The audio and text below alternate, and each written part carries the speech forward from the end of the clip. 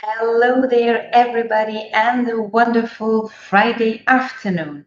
Welcome to another Virtual Space Hero on LinkedIn Live. Again, we're talking about a topic concerning virtual facilitation, virtual trainings. And you know, if you look back to the past weeks, we were talking with Andy Swan about trust and engagement in the virtual space in virtual teams. Then I had with me Kavan Cheung from Toasty. We were talking about interaction in virtual meetings. And last week, Joshua Davis talking with me about um, meaningful connections in the virtual space. And through all our, throughout all these discussions, I came across so many names about really inspiring people. And I'm super happy that today one of them is joining me. And first of all, again, very much, and thank you very much for joining this session. I see people connecting from Facebook, from LinkedIn, and from YouTube. And you know, we are very much looking forward to share with you, but also to get your comment. So comment, so engage with us in the conversation and type in all your questions that you have where you disagree, where you agree, or comments of your practices to interact and engage in the virtual space. My name is Barbara Covarrubias Venegas. I'm the founder of Virtual Space Hero, and I'm super, I'm really super happy that Kassy LaBorie is joining me, not only because she's a fantastic professional, also doing a lot of virtual facilitation and expert in the field, but funny enough, she has a blog. It's called Virtual Training Hero Tips. And so with this being said, I'm super happy to open the virtual doors to Kassy LaBorie joining us in the morning hours, right? Hello. Hi, thank you for having me today, Barbara. Kassy, it's super great to have you here. Thank you very much. You are, for you, it's the morning hours, right? It is the morning hours in, uh, in upstate New York. Upstate New York, fantastic. Um, how are you doing today? I am doing very well, thank you. It's Friday, and uh, I'm looking forward to the weekend and all the things that I have to catch up on uh, because I'm moving to a new home soon. So it's exciting times. Oh man, I can totally understand because finally, after the pandemic, because the pandemic hit us in moving houses. So we were the whole pandemic here in Spain in between houses. Imagine that. And so I can totally understand how great that is when we find when you finally move into the place that you want to be in. Yeah. Kassy, um, I was reading through your blog, through your web pages. I was following you on LinkedIn since I um, I discovered your web pages and your services and all your expertise that is out there. Maybe you want to give a little bit of a short intro. Um, how did you connect with the virtual space? it was quite a while ago, and thank you for asking. It was um, about two decades at this point. I used to be a Microsoft trainer. I was traveling around the San Francisco Bay Area teaching people how to use Microsoft Excel and Word and PowerPoint and all of those things. And uh, one day I was driving to a client. I was driving down the uh, the 101. Bay Area people will know about that. It's a very busy freeway with many lanes. And there was a giant sign featuring RuPaul and RuPaul was in a blue and green dress.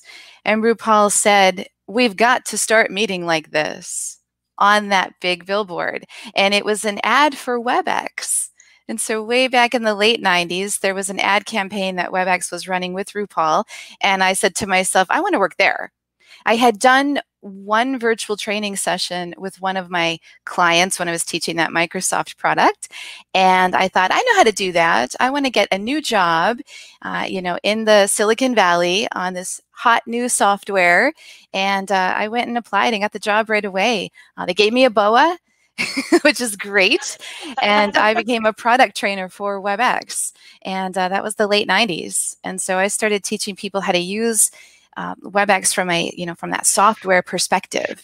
And then what ended up happening is that clients would say to me, "Okay, we get where to click, but how do we engage people?"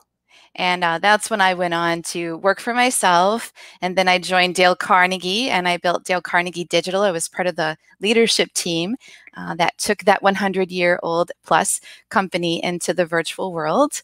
And uh, now I work for myself again, helping companies all over the world uh, skill up their training and instructional design teams and even producers so they can do virtual classroom training in a way that is engaging and effective. Oh, fantastic. And um, what are the tools that you're mainly working with today? Or is it really a huge palette, like a huge, vast um, amount of tools? Because we started with WebEx and Microsoft Teams tools. Oh, I got you. You mean so you mean like virtual platform tools? Mm-hmm. Um, in my current role as a consultant, I use any tool, whatever tool people are using to deliver their training. Um, but the most popular one by far today is Zoom, uh, followed mm-hmm. very closely by WebEx, and then I would say Adobe Connect. And uh, people are using Microsoft Teams. They're using it to collaborate, um, but they're using the Zooms and the WebExes to actually do the live meeting part of it. Yeah, exactly. Um, thank you very much for commenting on that. And um, if we think about the topic today, so we're talking about interaction and engagement.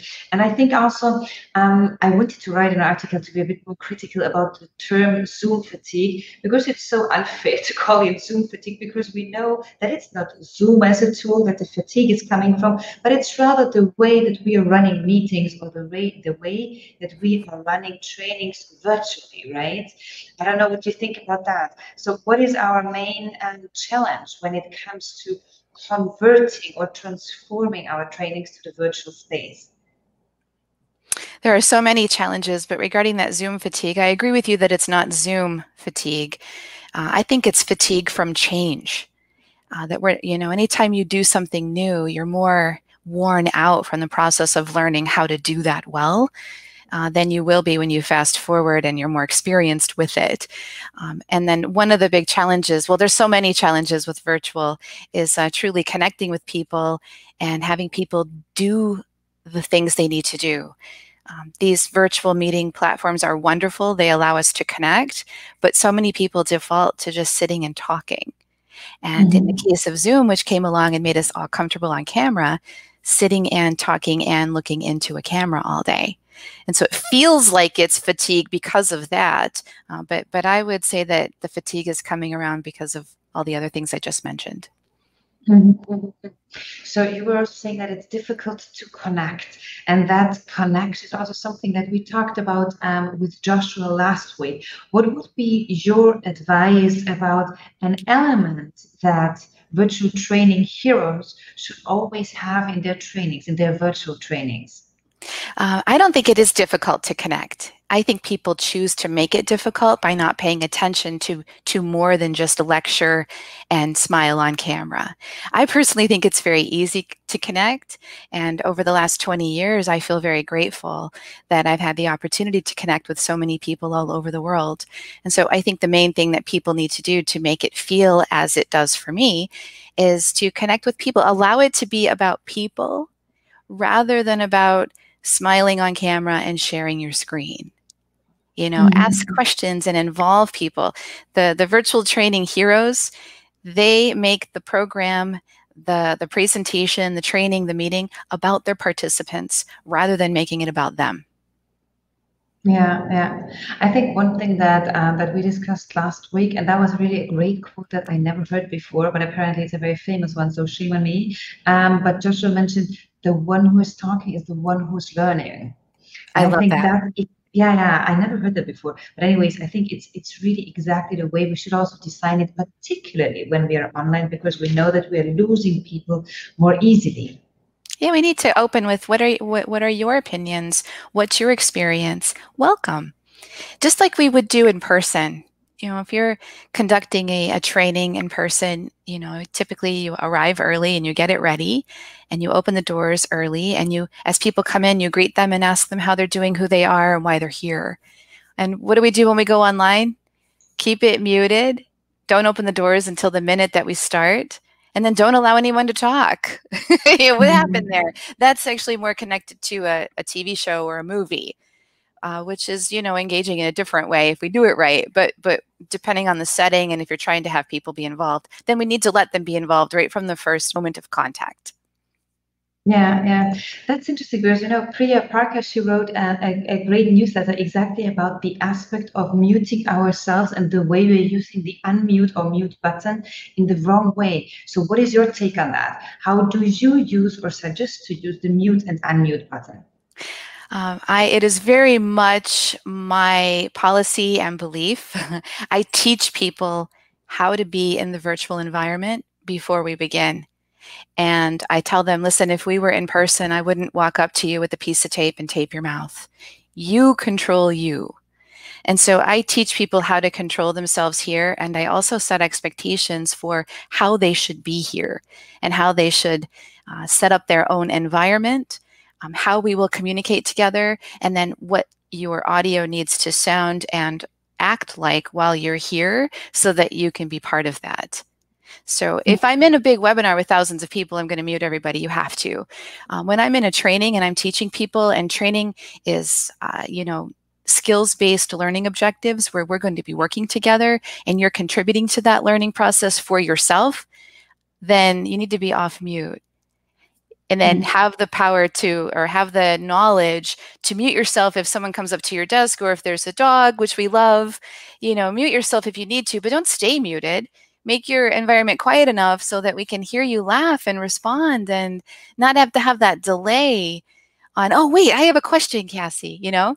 Just like you would in person. And so i i teach people how to mute themselves and also how to set up their environment so that they mm. don't have to remain muted yeah, yeah. I think that's yeah. really a super important point. I also wrote about that um just like two or three weeks ago on LinkedIn. But I think that the the problem is the way we now through the pandemic also were thrown into the virtual world or virtual training somehow did not really bring out the best of us in the virtual world. So for example, we got used to being muted and I was in a conference and I found it super brave. It was a 100 people conference. They used very um, creatively mural and Zoom rooms, a World Cafe setting. And they started with having everybody unmuted. They were like, we want to have everybody unmuted. And at the end, it didn't really work out because as we are used to being on mute, we were sort of, you heard people like talking to their whatever colleague, somebody was receiving a phone call, and it was a total, at some point, I wouldn't say chaos, but it didn't work pretty well. That's because of what people were choosing to do. So if we had all gone in person, would we be accepting phone calls in that room? We know to go outside and not do that. And so there's an element of people need to learn how to be in the virtual environment. They need to mm-hmm. learn the technology and the setup and what's the proper audio connection so they don't cause problems for others. And they also then need to learn about the behavior expectations. You yeah, know, yeah. I would never take a phone call and speak out loud if I was at a conference in a keynote. I would never yeah. do that you know, you know to mute your phone or turn it off, or you know to leave the room if you're going to take a call. Yeah. And people right. don't know that yet. It's like we're still learning that. And it's not the pandemic that created that. We've been doing that. It's been like that for 20 years. So what's happened is I'm happy that the pandemic is actually helping us to realize it because now people are paying attention to, whoa, that didn't work. And so what I'm I'm working to do is say, listen, it's not it's not the Zoom webinar that caused that problem back to it's not Zoom fatigue, it's our behavior and what we're choosing to do that's not making it work. Absolutely. Yeah. Absolutely. And also, just to our viewers, and I see that there are people connecting from Facebook, LinkedIn, and YouTube. Um, on Kassy's blog, you find many virtual training hero tips. So mm-hmm. make sure to go there and tag into the blog. And I also see a few, um, uh, a comment is coming in here from LinkedIn now. Hi, Michael Fernschus, he's connecting um, from Australia saying, wonderful approach using self-responsibility of participants in unmuting or muting working environment in general. Absolutely. Thank you so much, Michael. And to I all agree with that. There, yeah, exactly. Let us know how you may be using the unmute mute function. What are your tips and tricks um, to make it work? Thanks and a lot, Michael. Michael. And to Michael's point, I just want to thank you for that comment, Michael, because I think that we need to, I, I am working at this point at a place of setting the bar high. Uh, you know, high, like people will live up to what we encourage them to do. And if we're setting the bar low by muting you and not letting you interact, fine, that's how it's going to remain. But like I, I, I actually think it's really interesting that, that that group of people that did that Zoom webinar that you mentioned tried the unmute because I would love that world where we could once again have an online event or once again feel like what an in-person event feels like when we go to a big keynote online it's so yeah. odd to have the whole thing muted but you know it requires some responsibility on our side and i think that we just need to be on this mission at this point i know that i am on this mission right now to set the bar high and to have people do better i think it's just that people don't realize and they don't know and we've been setting the bar too low for far too long and that's partly why they don't know Absolutely. Very good. Thank you so much. Thanks a lot, Michael, as well for sharing. So, and to the others, just let us know what are your practices and also what are your questions for Kassy. We still have about half an hour, and I'm going to start with the first um, question that really relates to interaction and engagement. So, Kassy, you've been in the field for two decades, which is amazing. And um, what are your the your favorite tools or techniques maybe for a training to create interaction. You already said like listen to the people, ask them questions, make them participate. What else would you recommend? I do. I use all the tools and all the strategies and the same things that I would do in person. And so I'm always coming at it from that perspective of, you know, what do you need from this? Um, I personally have a mantra and it, this is what I this is what I believe in and what I try to do every single time I train a class or deliver a class. I say, um, what did I just say that I could have let you say? Or what did I do that I could have let you do? And so I use all the features of the platform uh, as much as that, that that they have, you know, chat, annotation. I personally love having people annotate on my slides um, feedback tools are very important. The raise hand and the green checks, they're such a simple tool, but they're a great way to connect with people quickly and easily. And so I use all of these tools to uh, encourage people to respond. And instead of me saying it or doing it first, I find a way to ask my participants to be involved. And then I respond to that and ask them to continue to respond using whatever tools we have. And so um, a specific example of that might be I have a moment where I'm teaching people how to look great on webcam. And so I could pull up a slide and say, these are what you, the things you need to do to look great on webcam. What questions do you have? That's typical training. And frankly, it's typically what we do in person as well. So we can't really blame online. but here's what I do instead. I go, we all want to look great on webcam. So guess what? I found some tips, some ideas, some things that we can do. Please take a moment to read the tips that are on my current screen. Green check when you're done reading, please. Or whatever. Raise your hand when you're done reading. And then I mute myself and let them read. There's like five.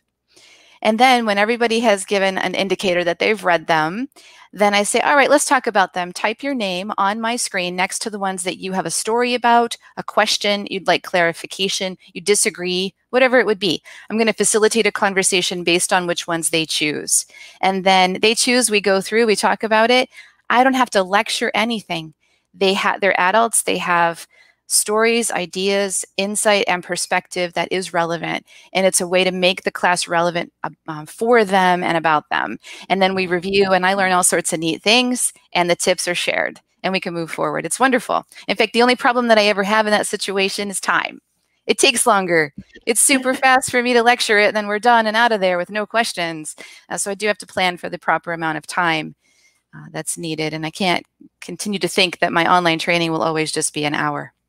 Yeah, absolutely. I think that's also the, the biggest challenge that many of us were facing because we uh, realized that we only can plan like for 70, 80% of content also that we might have been doing before because virtual led us also a little bit to more interaction because we were trying to, because we were seeing we're losing people more easily and yeah. trying to do interaction and suddenly we ran out of time right in our um, in our trainings.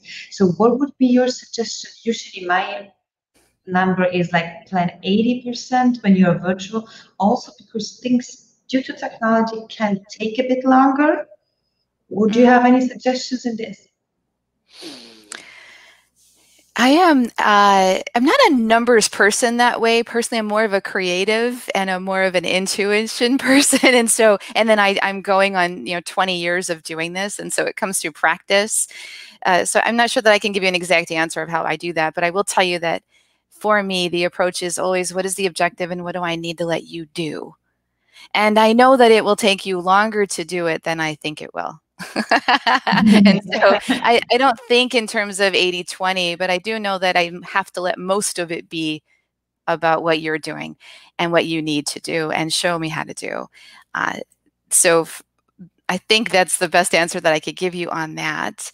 Um, yeah, yeah, that's the way that I go about it. Because and and you're right about the technology. People need a little more time with the technology though it is my experience because when I do my virtual trainer uh, certificate programming, it is multi session.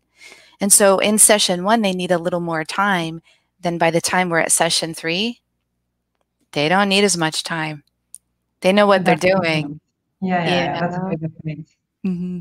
So that's it just depends on your group and also what you're having them do. So for me, it's always about the objective. And uh, giving people the proper amount of time to think and process and respond which is ultimately will help them what will help them apply and use mm-hmm. If you look at your virtual sessions, for example, and if you try, well, I know you're not a numbers person, so probably this question is not really a, a fair one now. But if you compare the, the time that you are talking and participants are talking, interacting, how would you um, how could you compare that or give it a weight somehow?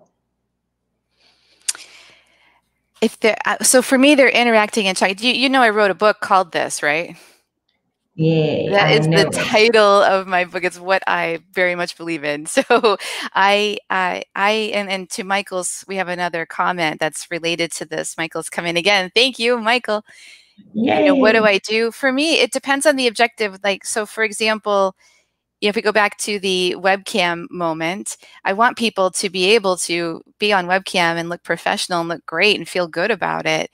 And so instead of just reading what you should do, I'm going to let them talk about what it all means. So that's one example. Um, another example is like I do, you know, because I'm teaching trainers and presenters to, to train and present, I will have them practice doing that. And so we go into small groups to do that. Uh, I, I teach classes. So my classes are two hours in duration, generally speaking. And we are um, at groups of 16. And this is because of what I'm teaching. I'm doing train the trainer. So 16 mm-hmm. people. And when it comes time to do their teach backs in the final session, uh, we split into two groups of eight. And it takes me two and a half hours to get through eight people doing 10 minute teach backs with feedback. Okay. And so that's the idea. Like I let them take their turns teaching. So if I'm going to tell you, oh, you're going to be a great trainer when you're done with my program, then I need to let you train. And so we set it up so they plan what they're going to be doing. I help them and coach them through that. And then when it's their turn, they take the screen and they share and they teach. They take the seat that I have held and mm-hmm. they, they they go through that process of the setup. You know, back to your point, Barbara, that the tech takes a little time. You know, when you're the leader, it takes a little more time than when you're the attendee. So you have to share your screen and situate your slides and then get ready to go. And so there's that moment. And then they teach and then we stop and have them uh, get feedback and coaching from one another. And so uh, it just depends. Oh, yeah. You know? It depends on what my objective is, what I'm going to have people do, but it's usually I, I have them do what I know they need to do when they're done with that event. Yeah, yeah, yeah. Ivania is also promote, uh, providing us with a comment. She's telling us open questions, two minutes to win the test.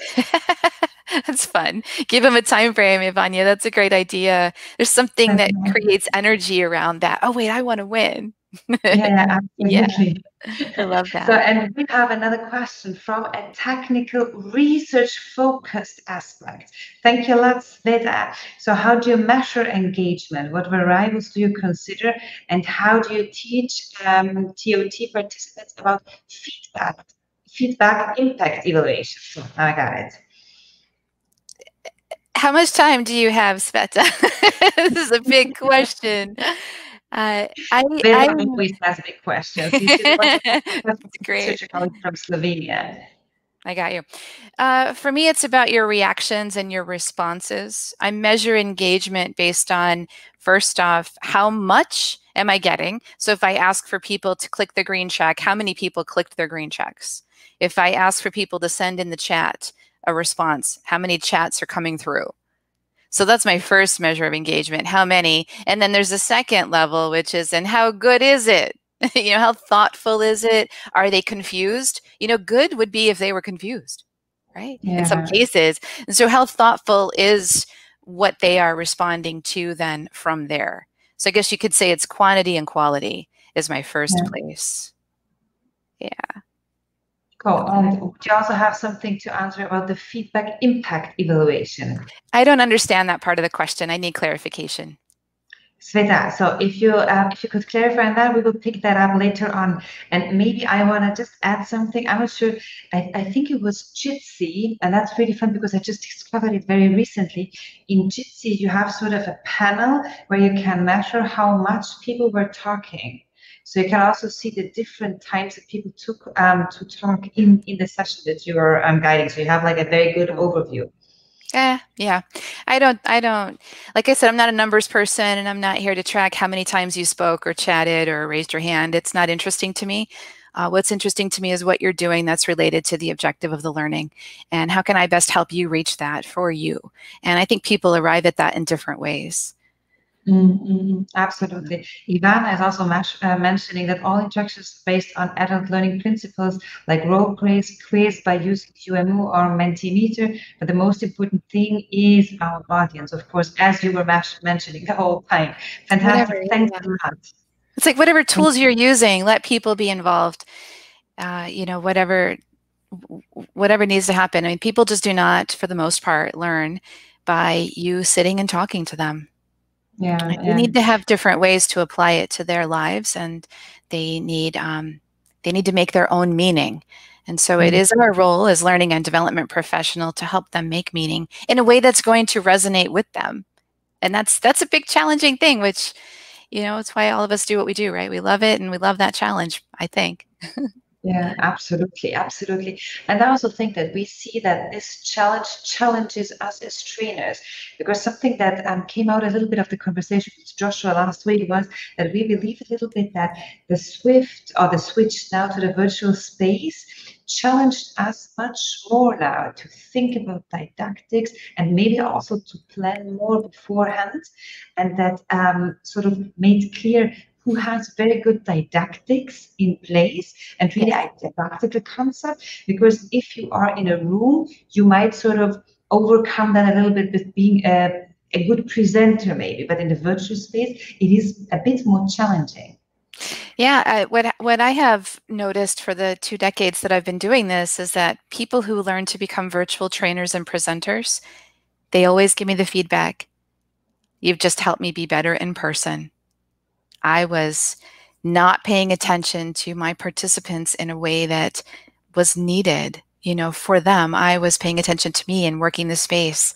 And so we've been mm-hmm. getting away with it for far too long. And what's happened when uh, you know when people go virtual and now that so many people have is that we don't have that space anymore. We don't have that room to work. We don't have that great outfit those great shoes you know that great mm-hmm. lighting. And so now we have to be focused on wait what's the substance and what's the mm-hmm. purpose for us yeah. to be here? And this technology enables us to connect but we got to get back to the substance and making that relevant for people so it can resonate with them so they can go do it i mean the only way you get to get away with talking is if you're someone super famous and the world is obsessed with you right otherwise most the rest of us normal people it's not our story. yeah. Um, thank you so much for sharing that as well. Yeah, I also totally believe that. And I think what I've been seeing now in the past, also the past five months, we all did sort of a crazy learning curve. Those, particularly those of us who have never done virtual teachings before. And anyways, also those of us who have been teaching online or training online, there were so many tools popping up from nowhere that you were like flooded with that you had to learn like in a crazy speed um, in case you wanted to keep up with that to, to know whether you want to use it or not. And so I see a little bit the trend now um, that we try to use more technical stuff online to um, keep our audience, to engage our audience, sort of effects or different tools. But um, not really focusing more on the didactics and on the interaction. But I think like it's it's we want to use technique or technique like platforms or whatever to step over, I don't know, to, to not have, to have participants interact. I don't know what you think that.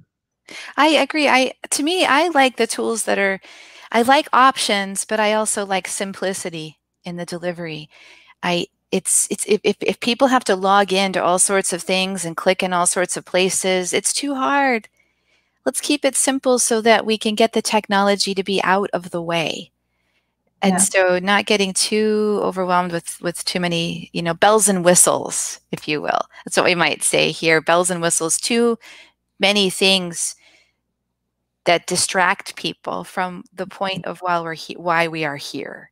Yeah yeah, you know? yeah coming back to your objective right?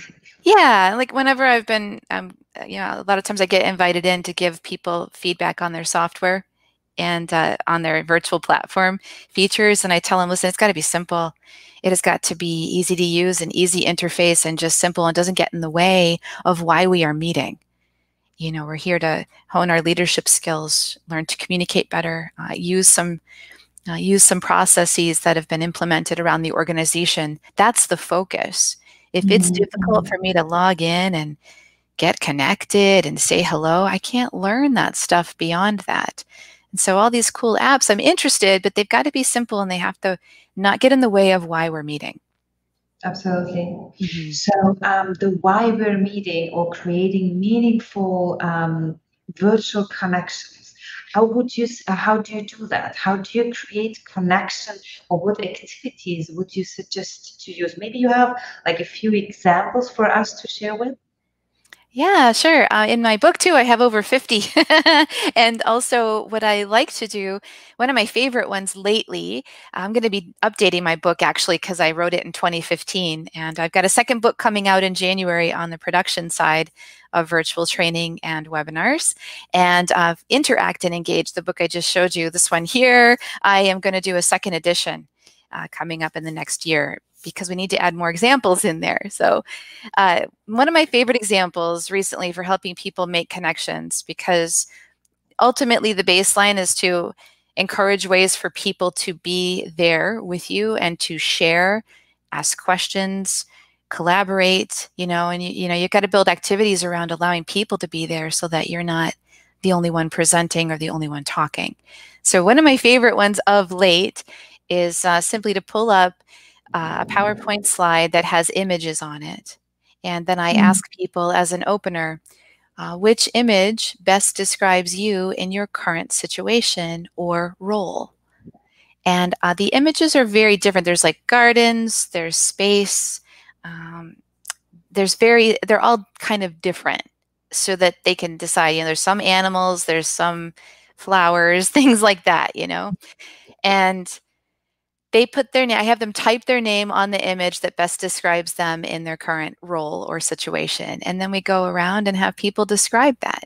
And they're using the tools to, um, to, to communicate. They're coming off of mute if they were muted. They're on camera, they're thinking, and then they're learning about others and making those connections to each other as well. so it's just one example of an opening one where I'm making it about the audience.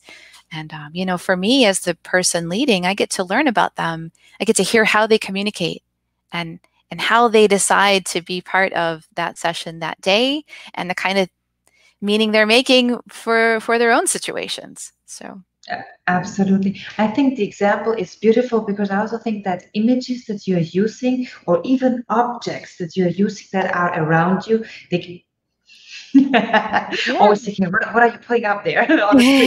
yeah, I know, right? What is that? I know I, that's a fun activity, isn't it? Have you ever done that one as an introduction where you you pull an item, two items or one item out of your bag or your purse, and uh, then you have to introduce yourself and explain what that's all about?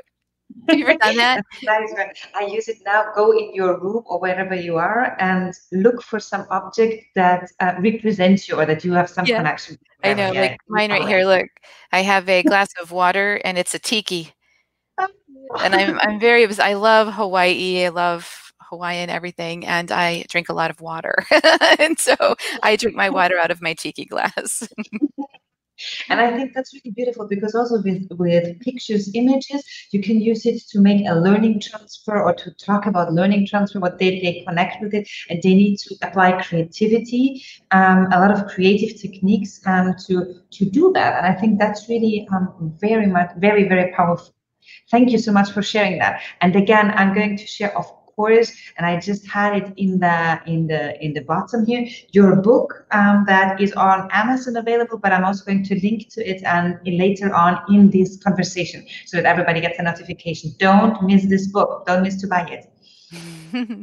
Thank you.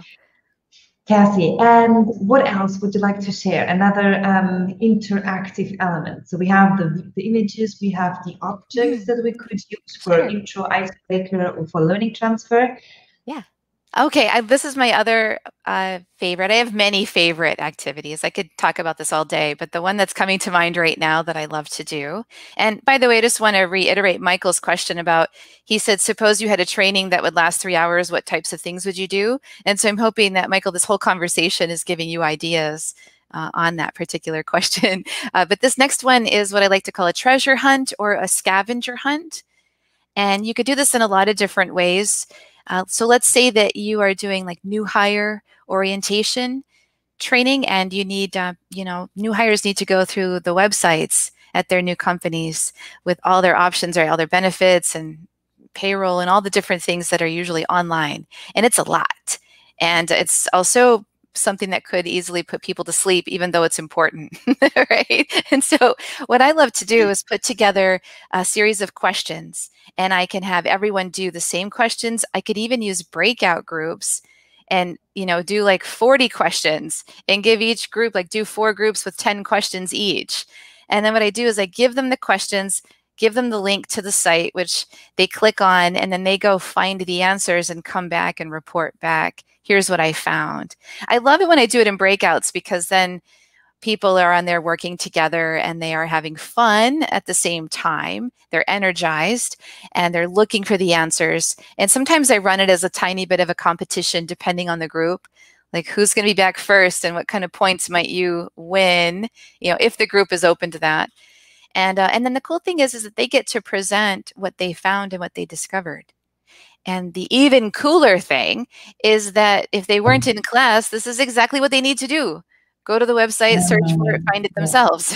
and so any kind of scavenger hunt, you can send them into software to work through steps on how to get something to work, how to, you know, uh, generate a certain report or locate information in software applications. You know, websites is an obvious one. Uh, you could have them do independent things and go around the office that they're currently located and find objects, depending on if that was relevant. It depends upon your objective, how you go about doing it. But the point is, you send people off to go find things, and then they come back and they present what they found, and that helps to make greater meaning in the program.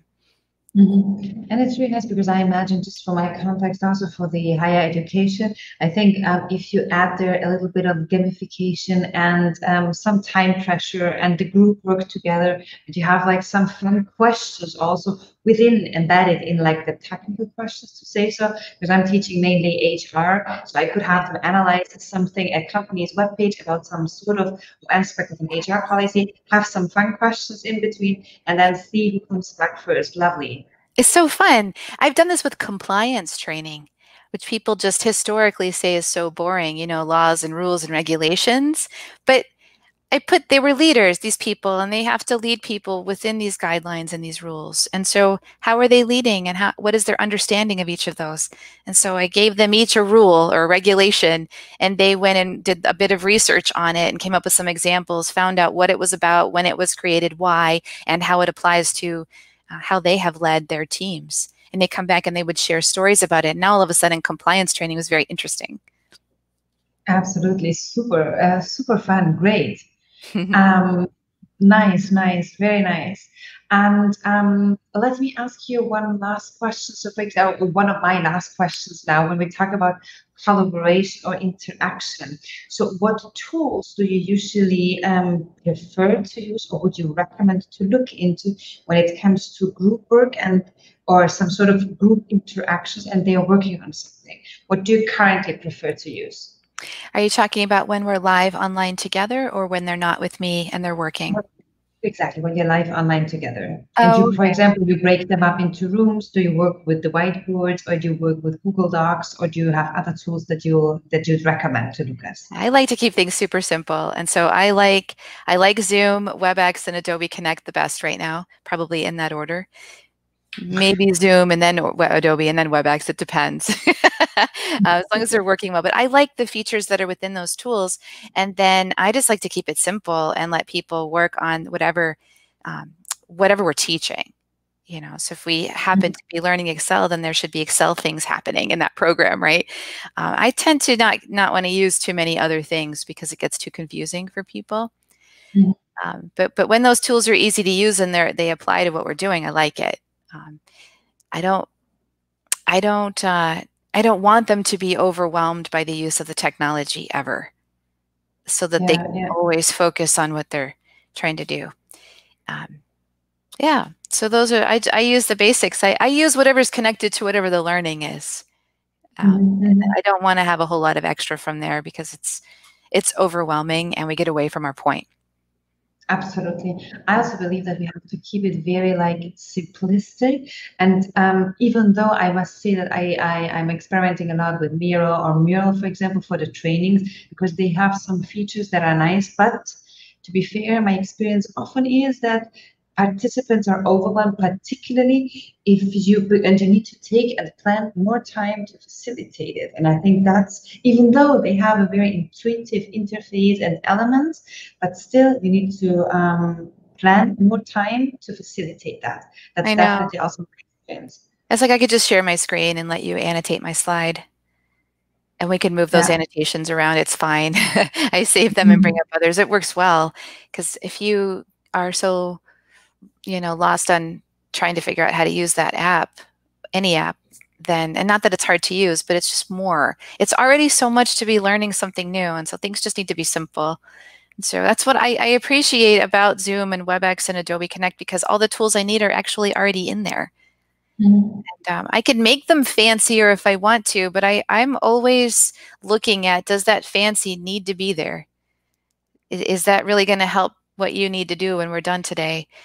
Uh, is that going to make that better for you? Or was it just hard for you to figure out how we made that happen? And did i just you know, so i think you have to be careful about that. Um, i do also very much like in most of the programming that i'm doing if i'm not doing a presentation or an, an interview like this where it's a one-time situation uh, most of my programming is multi-session.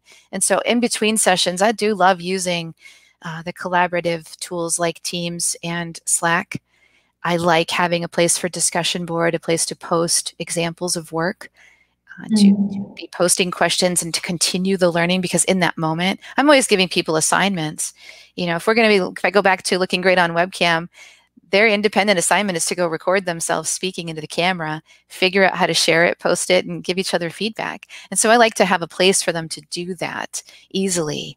Uh, so, mm-hmm. so that you know we have this advantage of not having to be in class all day long right? We're not online all day long uh, in a meeting like this unless you're, you know, torturing people. and so I, I like it. We can learn in little moments. And so it's not, you know, micro learning and uh, and mobile learning and all the different performance support that we can do. They all just complement what we do in the virtual classroom. And it, it you know, all falls under the umbrella of being online or being connected in a digital way. And so why not use those kind of tools as uh, ways for people to uh, show their work and continue to learn? Absolutely. I also think that um, that is a little bit the beauty for me of the virtual space because I personally, um, if I was in a one day training, I'm like totally bad in the evening usually in the pres- in in-person training, and I do like it to be in the virtual space too. I also do two max three hours. I have sometimes three hour session, but that's even though it's also very exhausting because virtual is exhausting. Even though I do it a lot, I've been doing it also for quite some years, but it's still exhausting to me but I do like it a lot because it has much more a didactical, small chunks learning journey or learner's journey approach than a one day training.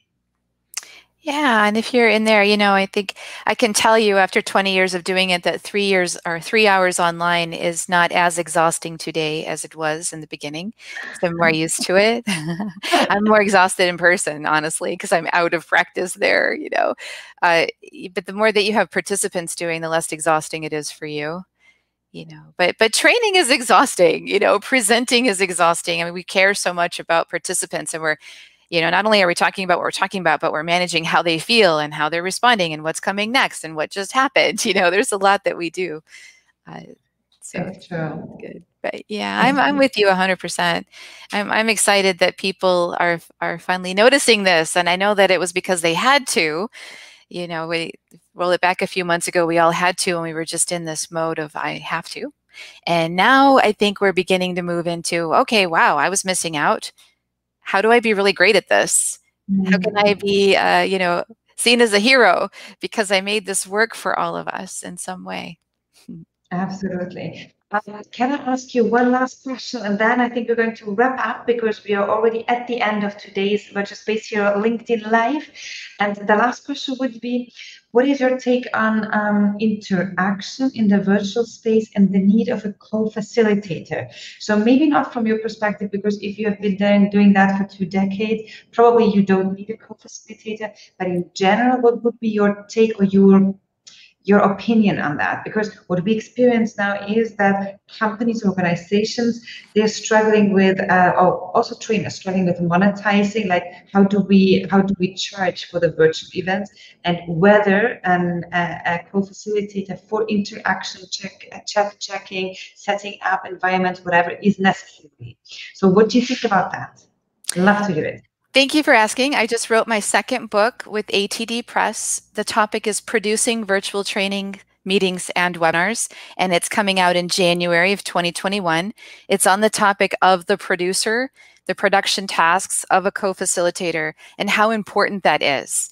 And so I very much believe in it, and I always have a producer with me when I deliver my programs a producer, a co-host. I, I use the word producer. I like that the best, but you could call it moderator, co-host, co-facilitator, you know, whatever it may be. I'm absolutely in favor of that. Um, for me, the producer is leading on logistics and technology, and the trainer or the presenter is leading on content and most importantly, meaning, meaning of content.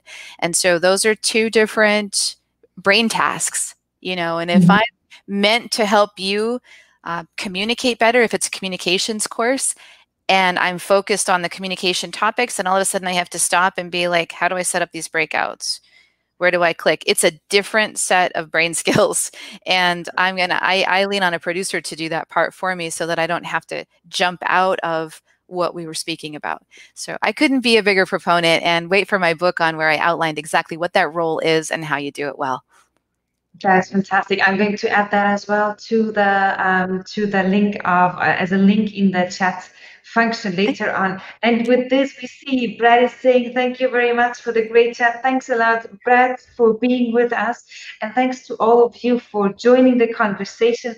Thank you very much, Sveta, Ivania, Michael was there, Brad is there, and I've seen many more people who are just following without interacting um, um, actively. Thank you very much for being with us, Kassy. It was amazing.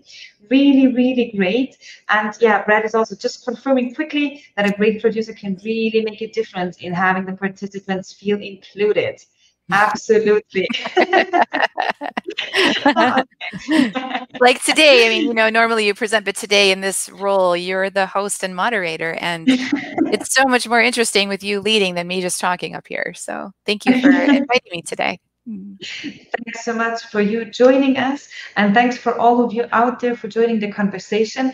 And as you know, we're going to produce a blog post of the conversation. And I'm going to add also Kassy's book to the blog and to this um, conversation thread in LinkedIn um, as well. Kassy, with that, I'm going to invite you backstage because there's sort of a virtual cocktail, something going on. I'm joining you immediately if you have a few seconds for me. Thank you very much again for being with us, and I see you in a minute backstage. Okay, thank you. Bye, everybody. Bye bye. uh, with this, I'm super thankful because it has been an amazing week. Really had so many engaging and creative discussions. I'm currently also working on an, an instruction for virtual world cafe. So all the world cafes I've been running, I continued developing my virtual method and I'm going to publish that very soon on my blog. Besides that, I'm going to have amazing guests in the coming weeks as well. So as you know what was happening in the past weeks. The blog posts are already online and get and have a look at them. They're really with a lot of material, a lot of links to um, to more material more readings. And next week, I'm really happy to have with me Adriana, and we're going to talk Adriana Gildler, and we're going to talk about project management of virtual project teams. So a lot about also engagement motivation of virtual teams and what tools to use in the virtual space. And with that, I say thank you very much for joining our conversation.